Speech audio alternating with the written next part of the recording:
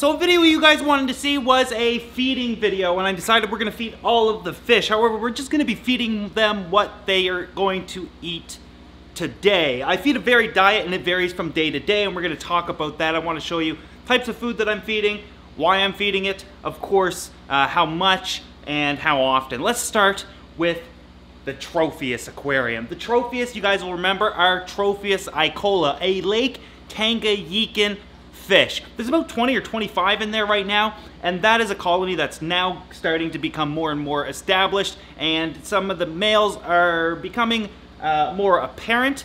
It does look like I have a nice balance of one to five, meaning one male to five females. With that said, I should probably interrupt this video. I know that you guys want a complete breakdown of every tank that I have and lots of information about each individual fish. So if you guys do want to see that, let me know in the comment section below or simply give me a thumbs up and I'll know that way. Back to the Tropheus. These guys are a herbivoric fish for the most part, and if you don't give them what they need, they can develop things like bloat, which can eventually kill them. So you want to be very careful with these fish. One of the key things with these guys is to make sure that they are in an established aquarium. Usually that will give you more success simply because they do have some algae to graze on. So I don't really do a whole lot of maintenance on this aquarium, although it does look really clean. It certainly isn't. There is algae on almost everything, but they do pick away at it. Now these guys are only fed twice a day. I feed them a herbivoric diet, mainly basing it off of plants like spirulina. So I make sure like the number one ingredient is typically spirulina, and I'll feed them a flake or even a pellet at times, sometimes a combination of both. Brands doesn't really matter, so I'm not gonna get into brands in this video. I just kind of pay attention to what the actual ingredients are the size of the food and the texture based off what the fish needs. Now it should also mention that when I'm feeding, all pumps are shut off. I don't want any of the food getting sucked down to the filter, and I leave them off for usually about 30 minutes.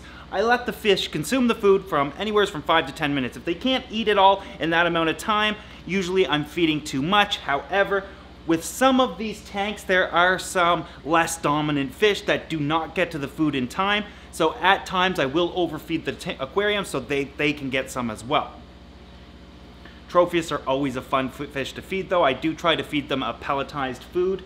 However, I mix it up day to day just to make sure they're accepting anything I offer. And now, I prefer pellets over flakes simply because pellets are, are like a far more condensed state than flakes, but flakes are a little bit more easier to digest and faster eating, so it kind of depends on the fish that you're keeping. Let's move up to the Malawi fish. Up above is the Lake Malawi peacocks. It has a number of different types of male peacocks with a heavy concentration of OB peacocks. I must admit, I do like them a lot, so, well, there's a lot in there. These guys get a very similar diet to the Tropheus. However, they don't depend largely on uh, a vegetable matter diet. However, today I offered them some spirulina-based foods, but for the most part, I will feed them something more omnivorous that has a uh, nice amount of protein content in it as well, upwards of about 30% protein content. These guys can be predators, but they do need some uh, vegetable matter in their diets as well. And I like to feed them foods that uh, have lots of color enhancing in it, like astaxanthin, for example. That's a very popular uh, color enhancer in fish foods. These guys eat once a day, and I usually feed them uh, pellets. Pellets because, again, they only need to eat a few pellets each, and those pellets will expand in their bellies, of course, once they uh, become wet, and they fatten up quite easily. I do find also that I control their aggression by only feeding once a day at the exact same time every single day. Which brings up a point of when do I actually feed? Usually I feed them at noon time. Noon being their noon, not our noon. See, as fish keepers, we control everything about our aquariums, including their life cycles and the lighting cycles and their metabolisms and so forth. So noontime for them is pretty much four o'clock in the afternoon for me. Their lights come on at a certain time and go off at a certain time, but noon is always noon to them. Right beside them is that rainbow aquarium that we just recently set up. Now these guys will eat just about anything. I feed them a variety of foods from flakes to pellets to frozen foods like brine shrimp or uh, mysis or even some krill, things like that, and they'll eat pretty much anything. These guys eat twice a day as well. twice a day simply because there's so many in there. I want to make sure that everybody's getting something to eat. Now it does look like in these videos that I'm overfeeding, but with the pump still on, it blows the food around and distributes it a lot more evenly throughout the aquarium so all the fish have an opportunity to get some. Plus it keeps the food in motion, almost triggering their uh, instinct to chase after that food and eat it, making it more acceptable typically. Rainbows get more of a tropical diet, like something that is a bit more commonly used for almost all fish, like community fish diets, which has a little bit of everything in there for them, and they do quite well on that. The Uaru Aquarium. This is one of my favorite tanks because it means so much to me, and it's also one of my most naturally looking aquariums, in my opinion, uh, and a few others have mentioned that as well. These guys, the Uaru cichlid is largely a herbivore. It will eat your plants if you put them in there, it doesn't matter what they are. In fact, sometimes I, I feed them romaine lettuce. They love that, but for the most part, I will also feed that tank a variety of foods simply because there's two different types of fish in there requiring two different uh, diet requirements. Those king tetras are uh, community type fish that do require plant as well as protein diet, but the uaru, they can uh, eat plant or uh, more of a meaty diet like protein based, but that's gonna have a huge impact on their coloration as adults. To get that awesome contrast, you do wanna feed more of a heavily plant-based diet. But today I fed them a mixture of pellets, granules, and flakes. Uh, a combination of spirulina flakes, some uh, community granules, and of course some cichlid pellets. Uh, this gives everybody an opportunity to have some and it's a mixed diet, but I also like feeding these guys uh, some frozen foods every once in a while. Not necessarily too often though. The Angelfish Aquarium, probably one of the more easier aquariums to feed because they'll eat almost anything I offer, but given the fact that angelfish have such a tiny mouth, we have to keep that into consideration as well. We can't feed them big cichlid pellets because they simply can't eat them. But today they got a mixture of frozen foods, including some brine shrimp, some mysis shrimp, and of course a little bit of krill. Angelfish tend to do best on a mixed diet, more protein based, these guys only eat once a day. There's lots in there. There's about 25 or 28 angels, something like that.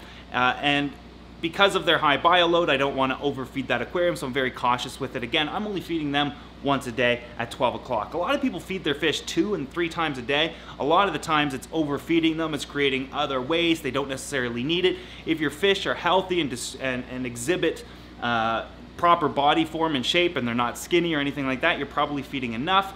But after that, it's usually a, way too much. As for the discus, well, these guys, all my discus have always gotten my homemade foods. I've shown you guys how to make this several times in the past. I just snap off a few pieces after it's been frozen and drop them in. As time goes by, that food will defrost and uh, they can pick it apart a little bit more easier. However, there's 16 discus in there. There used to be some uh, cardinal tetras. I've removed the cardinals because for me it was just a, a personal thing. Uh, they were taking away from the discus. My eyes were always watching the cardinals as opposed to the discus, and I want it to be a discus aquarium. I know some people won't like that, but I don't know, I just prefer just the discus only, especially in like six to eight months from now when they get a lot larger, it's gonna be far more impressive. The food that I'm feeding though is heavily protein diets consisting of some beef heart, uh, shrimp, tilapia, scallops, and a little bit of astaxanthin powder, but you could also add in paprika to help with the oranges like these guys are getting now because they will be a red-orange color eventually.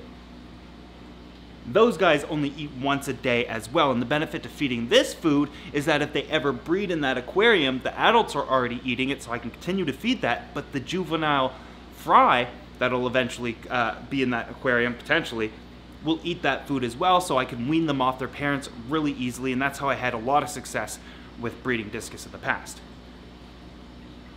The last aquarium on this rack that currently has fish in it is the Asian aquarium. Now we haven't gone over a lot of details on this tank. In fact, I haven't actually really showed it at all, and we'll have to go through a detailed explanation eventually like we have uh, through all the rest of them. But the main fish in this aquarium are a handful of pearl gourami, as well as some harlequin rasboras and some Dario Dario. Now this aquarium is still something that I've changed a few times. I'm not completely satisfied with it, uh, but feeding it is still fun. And these guys got the same thing that the angelfish got earlier. uh, I do find that they enjoy it and it allows all of the fish to get a little bit because there's so many different mouth sizes within that aquarium. This is a good diet for them. But how usually I'll feed different types of community type foods like some flake foods and very small pellet foods and granules and they'll eat those as well. Day to day varies out here. Moving along, we get to Frank's tank. Now Frank begins his day off with some flower horn pellets. I just drop a small handful in there and he'll eat them all. That'll fill his belly up, but we'll come back to this aquarium later because we feed it another food later on in the day as well. As for the 375, you guys will remember this is a newly established aquarium with a ton of uh, clown loaches. We got 50 large clown loaches as well as I believe it's 17 uh, Vieja. There's three different species in there. I start that tank off with some cichlid pellets just because I know the Vieja will eat them first and that kind of fills them up and allows the other foods that I'm going to be offering to get down to the clown loaches. However, if the clown loaches are hungry enough, they will come up and eat the pellets like they do for me usually. Uh, and then I decided to give them a treat today, so they got the brine shrimp krill as well as the mysis shrimp that the angels as well as the Asian tank got as well. Again, this looks like I'm feeding a tremendous amount of food, but they consume it all and return pumps are shut off, so it's not like it's getting sucked down to the filter polluting the aquarium. The Stingray tank. I feed this aquarium twice a day. For the Asian arowana, I start them off with some arowana sticks. This is a prepared food that you could purchase. Uh, I feed it for a couple of reasons. One is to ensure that they eat whatever I offer. I want to keep them on a prepared diet as well as a homemade diet. Uh, and, and, getting your arowana on anything but live can be difficult. So having all four of my Asian arowana eating prepared food as well as homemade food is kind of a big deal. So I don't want to ruin that for them. They do enjoy the pelletized food. It offers lots of color enhancers uh, and kind of just ensures that they're getting whatever they want. And then of course we come back and feed them the homemade food that I've shown you guys how to prepare in the past. And this contains some fresh market shrimp. We've got some tilapia uh, fillet in there or fillet. Uh, we've got some scallops in there. Uh, and, and that's pretty much all that rounds out that diet. And that is a very fresh diet to be able to offer your fish is to know exactly what's in that and know that you know a lot of the times we look at the top three ingredients of what's in a fish food the rest are kind of fillers and color enhancers I focused on the top three for this tank and give them kind of what is the best, but the rays absolutely love it. The arowana will eat it as well. However, depending on the time of day that I'm feeding these guys. These guys usually eat earlier in the morning when the lights are a little dimmer. The arowana will strike harder, but when I have all the lids off and bright lights shining down and then I'm starting to film, a lot of the times the arowana won't perform for us. So keep that in mind when watching these guys eat. Anyways, feeding the whole gallery takes about 30 to 35 minutes, and that includes defrosting some foods, getting it all ready. Uh, but I do it once a day and that's part of my maintenance routine. Of course, I have to still take care of everything in here and that's something that I'll do for you guys in the near future is make a video on how I take care of the over 4,000 gallons of water within this uh, gallery. And 4,000 gallons isn't a tremendous amount of water if it's only one or two tanks, really, because you're only focusing on one or two tanks. But when it's 13 different large aquariums that all have different needs, that can become a little unique. And if you guys want to see that video, let me know in the comments section below.